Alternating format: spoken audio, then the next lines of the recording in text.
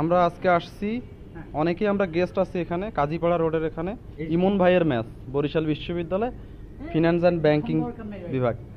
তো আসার পর আমরা যে পদ্ধতিতে করতেছি সে পুরোটাই হচ্ছে একদম প্রাকৃতিক পদ্ধতি। কাঠ কয়লা সব মিলে। কিন্তু আমাদের মনে হচ্ছে যে জিনিসটা খুব মজাদার হবে।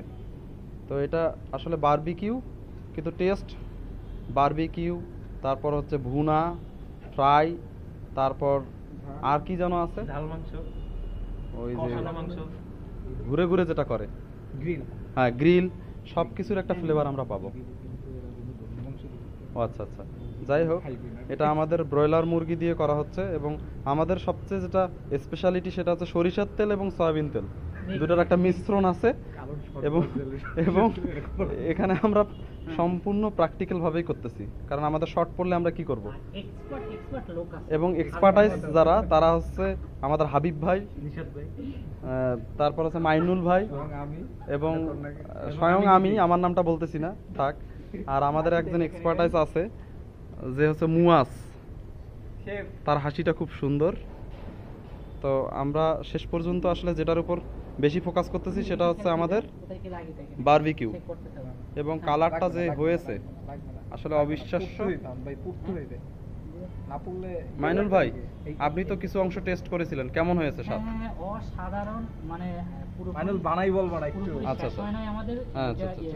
রান্না করা। মানে টেস্ট করতে করতে যদি একটা পিস পুরোটা খাওয়া যায় তাহলে বেশি ভালো। আচ্ছা। তাহলে বলব যে ভাই কয়লায় পড়ে গেছে এটা হালাই মানে এটা আমাদের অবিবরণযোগ্য এতটা মজাদার। যাই হোক এক ছোট ভাই আছে নাম হচ্ছে মাসুদ রানা। সে কখনোই ভালো হবে না। সে ওবায়দুল কাদের বলেছে যে মাসুদ তুমি কি কখনো ভালো হবে না? আমরা কিছুটা হতাশ সে ভালো হবে কিনা? আমরা বড়ই হতাশ। আচ্ছা আচ্ছা। তো মুয়াজ তুমি এত কিছু করলা তোমার কন্ট্রিবিউশন সবচেয়ে বেশি। কার্ড নিয়ে আসলা এবং তোমার গবেষণা ছিল তুমি হচ্ছে এটাকে মেরিনেট করছ।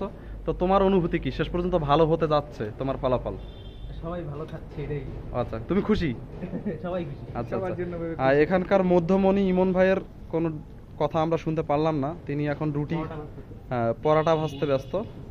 তো যাই হোক এই ভিডিওটা করার মূল উদ্দেশ্য আজকের দিনটাকে। স্মৃতিময় করা। হ্যাঁ আরেকজন ছিল নজরুল। কাজী নজরুল ইসলাম কাজ চুরি করতে গেছে? আহ, সে সে পড়াটায় হেল্প করতে গেছে।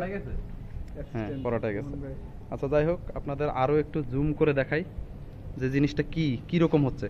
তো কালারটা একেবারেই লাল কালার হয়ে যাচ্ছে এবং ধীরে ধীরে আমরা কিছুটা কালচে লাল করব যেটা আমাদের হাইভের প্রধান চাওয়া পাওয়া।